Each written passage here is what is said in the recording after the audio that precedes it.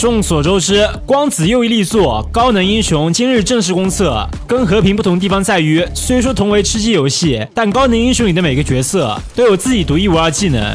没有概念也不要着急，超体对抗总玩过吧？没错，可以简单理解成每个角色都是一种职业。而新手开局四选一，我建议直接选光速小子，就是我现在玩这个。被动是在没有受伤情况下会缓慢回血，而一技能是消耗生命值，获得大幅度移速加成，再配合。上滑铲，无论是赶路还是交战时，都可以灵活走位。大招召唤一个弹力跳板，弹射起飞后，空中可以触发二段跳。这个转移位置或者赶路都不错。打人的话比较鸡肋，因为瞬间腾空后直接失去焦点。想要再次精准命中敌人，对枪法要求较高。由于每个角色都有各自不同技能，所以想要在这个游戏里上大分，建议先熟悉各个角色技能。正所谓知己知彼，百战百胜。游戏也是刚开服，感兴趣的兄弟赶紧去玩玩吧。